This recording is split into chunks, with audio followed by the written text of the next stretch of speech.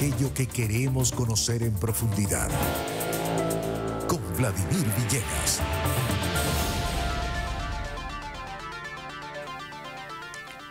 Bien, 4.40. Y en específico vamos a hablar de un tema con el doctor Jesús Ramos Rodríguez, un tema muy interesante. ¿Cómo saber cuándo estoy incurriendo en un delito informático? Buenas tardes, doctor. ¿Cómo le va, doctor Rodríguez? Hola, Vladimir. Un gusto escucharte. Buenas tardes. Buenas tardes, caramba. Cuéntenos. ¿Cómo saber cuándo estamos incurriendo en un delito informático y cuáles son los delitos informáticos tipificados en la legislación venezolana? Eso de saber, eh, habría que entonces conocer lo que es la ley para entonces saber si se está incurriendo en lo que es un acceso indebido, si se está eh, destruyendo alguna información que no es propia. Me refiero a los sistemas que utilizan tecnologías de información, ¿no?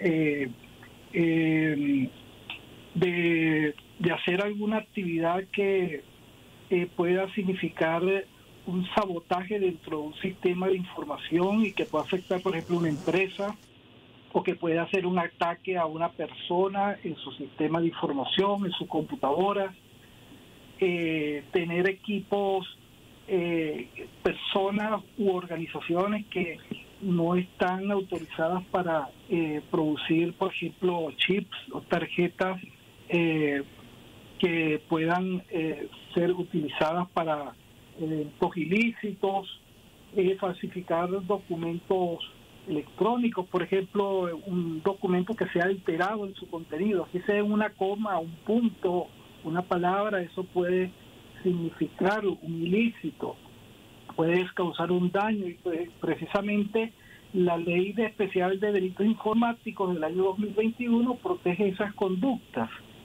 Eh, esa lo que significa la falsificación, también están los delitos contra la propiedad, el fraude electrónico muy frecuente en esta época, eh, obtener indebidamente un bien o un servicio eh, y no pagarlo o hacer que pague un tercero y no la persona que lo contrata y que lo requiere o que esté comprando el producto, eh, el manejo fraudulento de las tarjetas, este, en, en cuanto al uso y la disposición de ella sin autorización de su eh, responsable o propietario.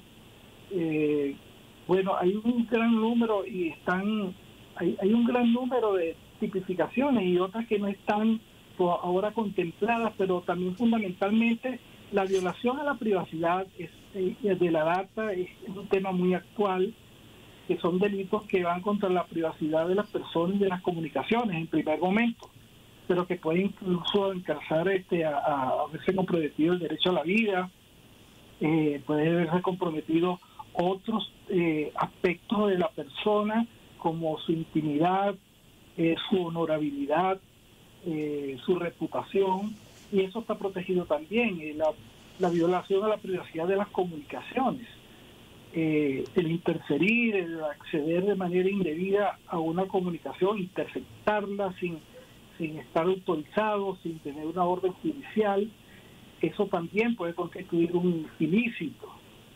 Revelar una, una data, una información que se haya obtenido sin autorización de su propietario o de que la genera, eso también es un ilícito. Y también la difusión de de exhibición de material pornográfico eh, y también en cuanto a niños, niñas y adolescentes, las vinculaciones que puedan estar relacionadas con ellas, de ser afectados por este tipo de actividades. Bueno, hay también eh, la apropiación de la propiedad intelectual a través de, sustracción eh, en grupo con fines económicos y las ofertas engañosas que se propagan por por internet. Hay, hay una gama que se subdivide aún de estas, que son lo que se llaman subtipos, y hay muchos más, pero fundamentalmente estas son las que eh, están eh, contempladas en la ley especial contra los delitos informáticos en Venezuela y que a todos, pues, de alguna manera hemos sido afectados o seremos afectados. Ahora, ¿cómo defenderse de un delito informático desde el punto de vista jurídico? Doctor desde Rodríguez. Desde el punto de vista jurídico, eh, bueno, este, esta ley propugna, eh, la ley especial contra delitos informáticos, eh, ella tiene un sentido preventivo en, en, en cuanto que la gente sabiendo las consecuencias de estas actividades que pueden ejercer de manera dolosa, dañosa, y que incurren en ellas, pues que van a traer consecuencias de tipo penal, ¿no?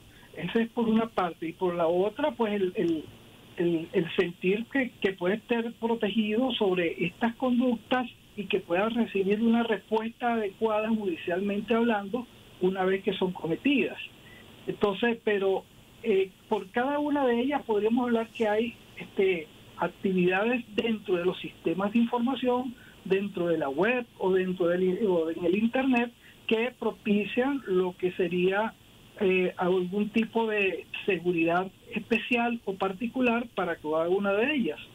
El uso de las aplicaciones, el uso de las páginas web, este, contra las actividades de phishing, que son estos correos maliciosos que llegan a nuestras cuentas, este, sugiriéndonos o invitándonos a dar clic en tal o cual sitio porque usted tiene un paquete que le van a entregar, que usted se gana un premio, que usted este, si hace esto va a tener beneficio aquello.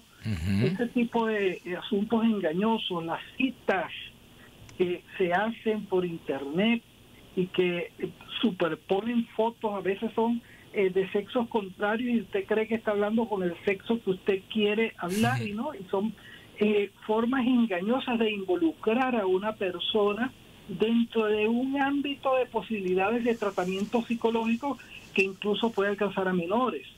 Eh, lo que son eh, anuncios publicitarios eh, tentadores, que usted se va a ganar este un viaje a, a, a Dubái si usted hace tal o cual cosa de manera sencilla o te lo ponen muy económico de tal manera que dice, bueno, esto debe ser una cosa maravillosa.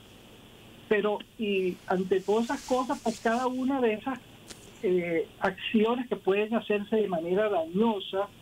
Eh, hay, hay diferentes tipos de previsiones contra esos cyberataques o cyberdelitos que se puedan producir eh, como rastreadores que se por ejemplo en los en, los, en, en, el uso del, correo electrónico usted puede pasar por un rastreador de malware que significa eh, verificar si esta que estoy recibiendo tiene algún elemento contenido oculto que me pueda causar daño, eh, averiguar de la empresa que le está mandando una información o una solicitud o una oferta o un regalo, averiguar primero de qué se trata.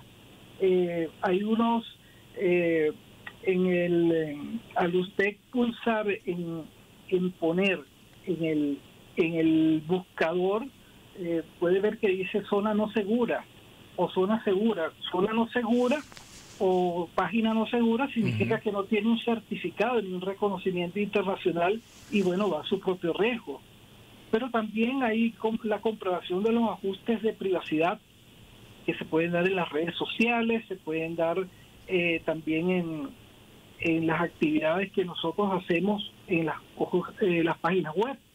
Y la protección de los datos también es importantísimo aunque esto al final termina siendo eh, una ilusión, porque en esta época donde la inteligencia artificial está potenciando muchísimo eh, la actividad eh, de distracción de la ley o propiciando que se cometan ilícitos bancarios, de violación de data, de de superposición, superposición de identidades, pues esto hay que estar muy atento e informarse o buscar a alguien que ayude cuando haya una duda. Y si hay mucha duda y usted no sabe de quién se trata, no abra ese correo, esa aplicación, ese mensaje.